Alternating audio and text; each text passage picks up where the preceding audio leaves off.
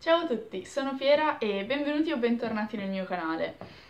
Oggi faremo i preferiti del mese di dicembre. So che sono in ritardissimo, però sono stata un po' male e sto ancora un po' male, probabilmente si vedrà dalla mia bellissima faccia, però mm, non volevo non fare questo video, visto che comunque mi piace farli. Ma partiamo subito con il primo preferito del mese, cioè i libri del mese. Questo mese ve ne mostrerò ben due, una è una graphic novel e uno è un libro. Allora, cominciamo con la graphic novel. L'ho letta all'inizio del mese, ne ho anche fatto un post su Instagram che vi lascio linkato in descrizione se volete andare a sbirciare. Ed è Storie brevi e senza pietà di Taddei Angelini, edito da Panini Novelle.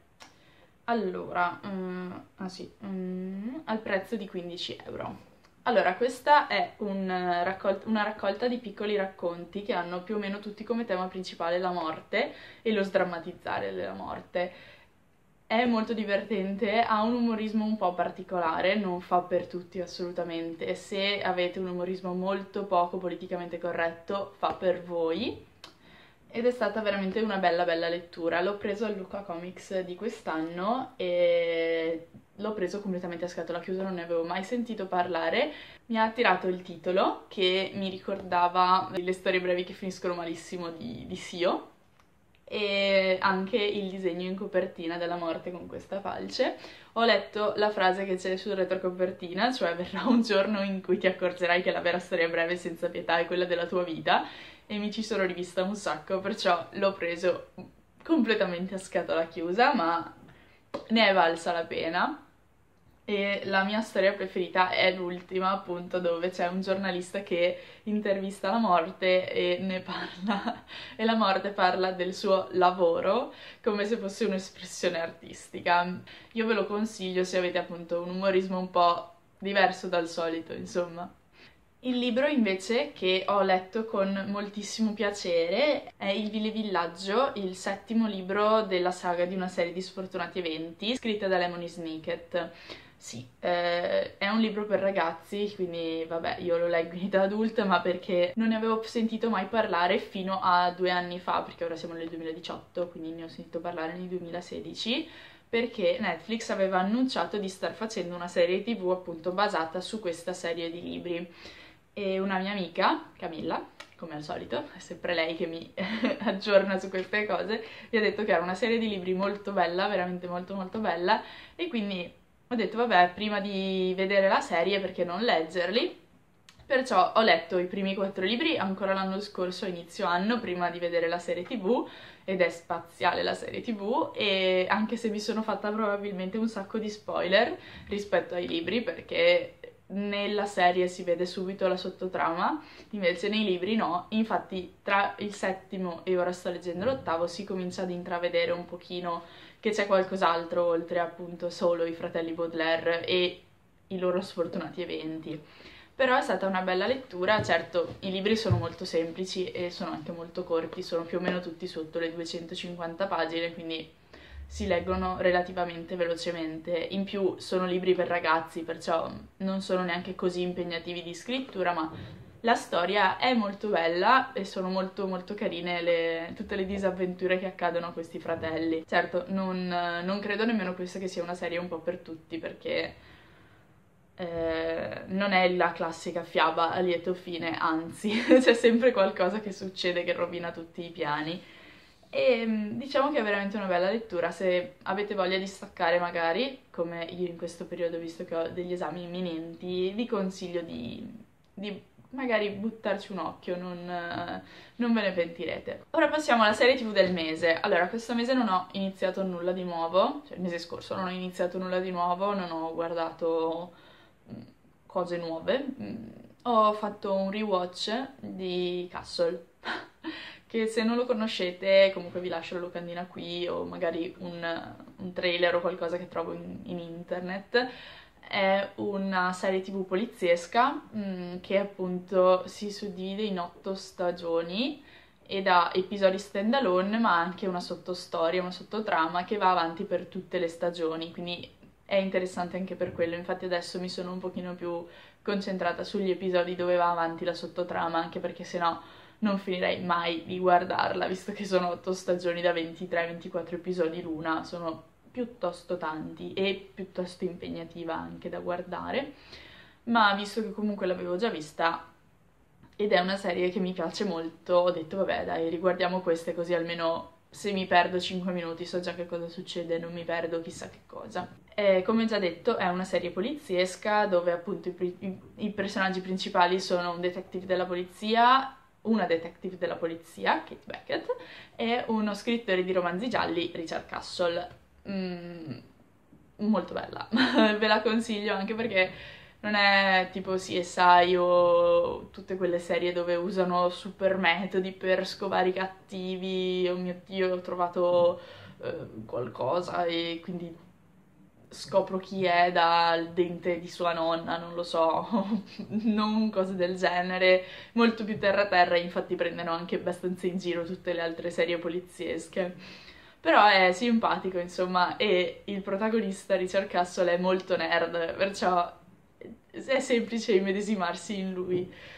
Ho visto anche un'altra serie assieme al mio ragazzo, però questa non da sola, che è Scrubs, che è la mia serie tv preferita in assoluto. Abbiamo deciso di riguardarla assieme perché a tutti e due piace un sacco e Scrubs è il must di tutte le serie tv e di tutti gli amanti di serie tv. Se non avete mai visto Scrubs non siete dei veri amanti di serie tv perché Scrubs è il capostipite, cioè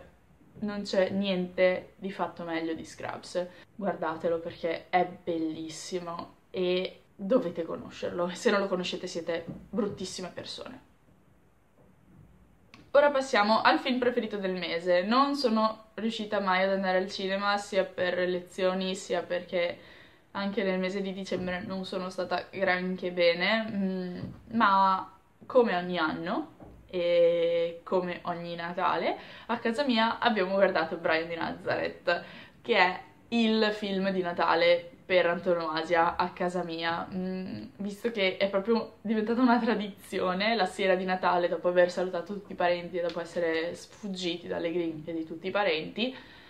io, mio papà e mia mamma ci sediamo sul divano e guardiamo Brian di Nazareth. Allora, è un film dei Monty Python, credo di avervene già parlato, mi sembra nel preferiti di novembre, perché l'avevo visto assieme al mio ragazzo, ma questo mese per me Brian di Nazareth è proprio è stato proprio un, una chicca perché guardarlo assieme ai miei genitori, che sono anche le persone che me l'hanno fatto vedere per primi, è una cosa che mi fa stare molto bene, insomma, ed è una tradizione appunto della mia famiglia e se non avete visto appunto il video dei preferiti di novembre dove ve ne parlo un pochino meglio ve lo lascio nell'info box e vi lascio anche magari il trailer e la lezione di latino nell'info box perché sono veramente è un film esilarante ed è dei Monty Python, quindi cioè amore puro per me almeno. E basta, non ho visto granché altri film in realtà, è stato un mese un po' fiacco nel reparto film, però vabbè, magari recupererò nei prossimi mesi, visto che ora c'è la sessione e non ho la possibilità di andare al cinema. Sad. Bene, allora, ora passiamo alla musica del mese, anche se non c'è un granché di musica, visto che ho ascoltato sempre le stesse cose. L'unica cosa in più che ho ascoltato durante dicembre è stato un, un disco che si chiama La Band Ureno, eh, non so se lo pronuncio correttamente, anche perché è francese e io il francese non lo so però è un disco fatto da un sacco di artisti francesi che hanno appunto fatto delle collaborazioni. Per nostra sfortuna c'è anche Carla Bruni lì dentro, però vabbè, suona bene la chitarra, quindi perché no?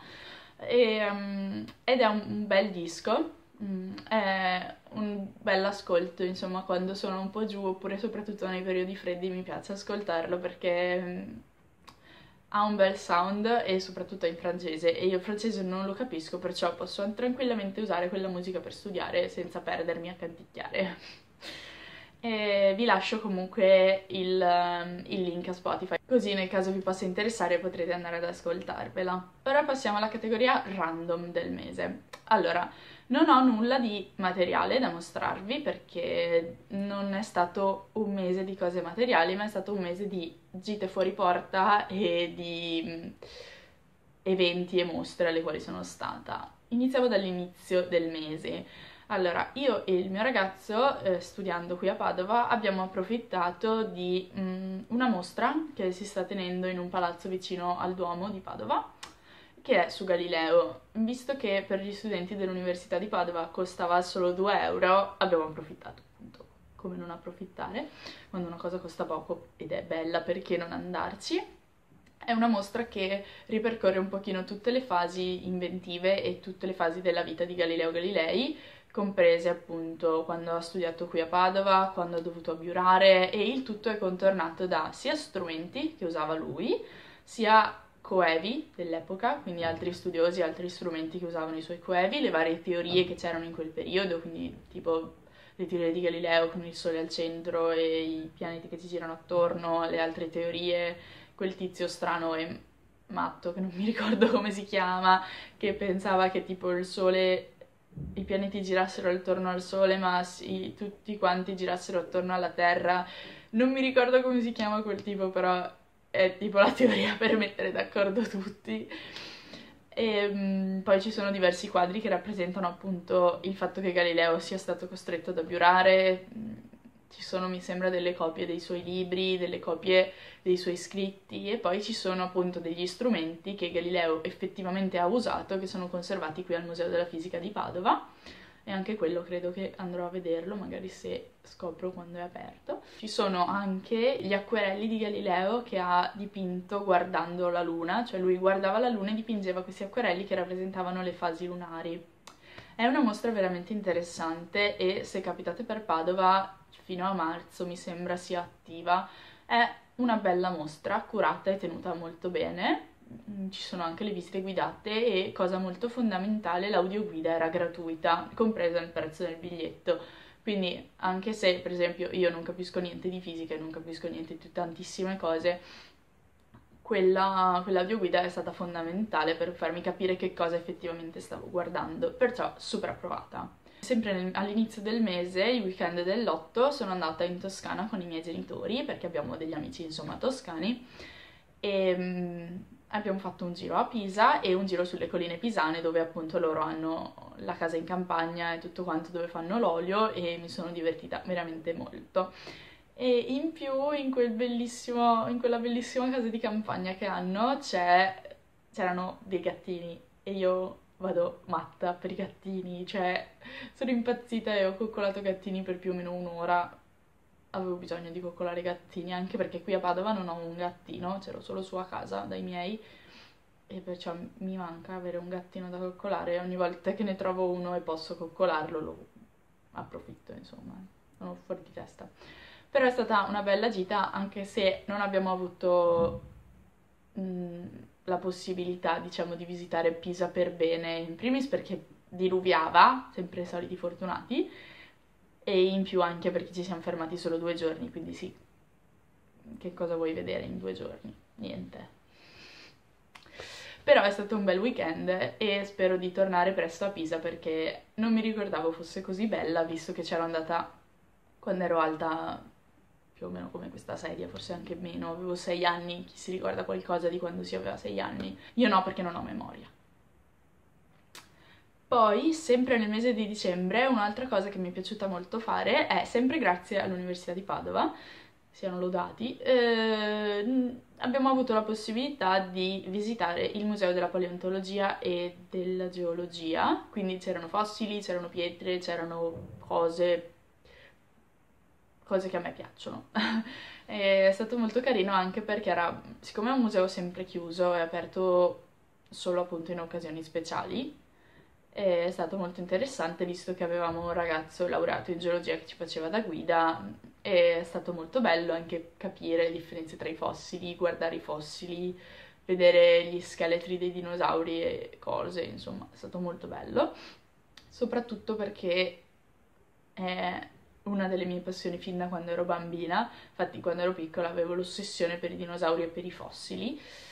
e infatti i miei genitori sapendolo mi regalavano un sacco di libri su queste cose e io ero follemente innamorata di quelle cose, non so perché non sono andata a studiarle, ho fatto tutt'altro, ma vabbè,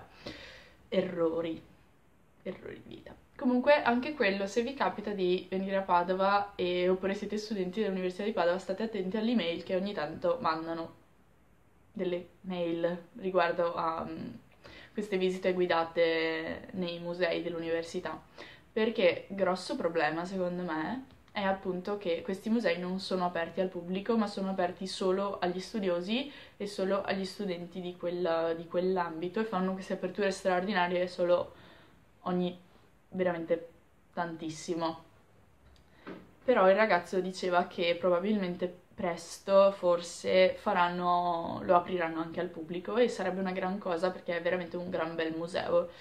Poi, l'ultima gita che ho fatto è stata a fine mese con i miei genitori e sempre il mio ragazzo, visto che comunque non abitiamo così tanto distanti nemmeno quando torniamo a casa dell'università, eh, siamo andati sul Carso, che se non sapete che cos'è, è una zona del Friuli Venezia Giulia molto vicina alla Slovenia e abbiamo fatto un giro delle cantine, siamo andati a mangiare a Gorizia e come ogni Natale, come ogni vacanza di Natale più o meno verso la fine dell'anno facciamo questo giro perché i miei genitori sono un sacco appassionati di vini e anch'io. Anch'io sono molto appassionata di vini, però è una tradizione anche quella di famiglia che ogni anno facciamo ogni anno decidiamo di farci un giro in queste zone per prendere del vino, del vino particolare, insomma, perché lì fanno appunto delle qualità di vino che non si trovano da altre parti perché hanno questo terreno molto particolare. Poi siamo andati da un produttore che faceva il vino nelle anfore come tantissimi anni fa e le anfore gli arrivano dalla Georgia, quindi cioè molto molto particolare, molto bello. Se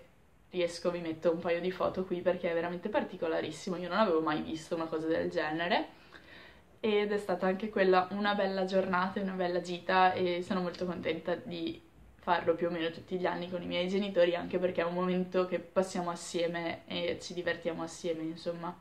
E basta, diciamo che come preferiti random ho finito. Sì, perché non ho... non ho altre cose in realtà di preferiti random. Se non la mia gattina, come sempre, lei è un preferito di ogni mese, la mia gattina.